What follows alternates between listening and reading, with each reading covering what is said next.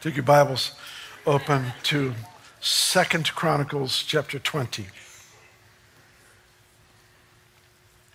Second Chronicles chapter 20.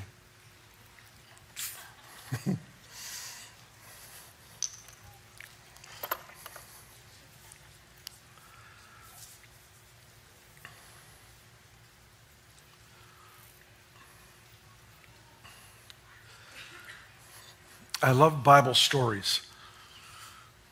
I've been uh, in uh, the Old Testament for a little while and just poring over the stories from, from the Old Testament. They're, they're just so fun. They're so fascinating. I love Bible stories because they, all, they always reveal something about the nature of God and the nature of His promises.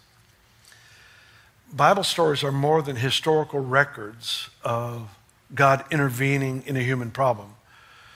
They are actually to become filters that we use to see our own condition, our own life, our own circumstances that we face.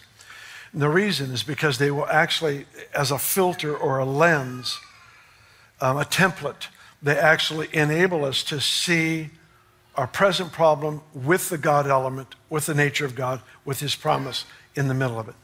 And it changes how we look at circumstances. Bible stories provide that for us.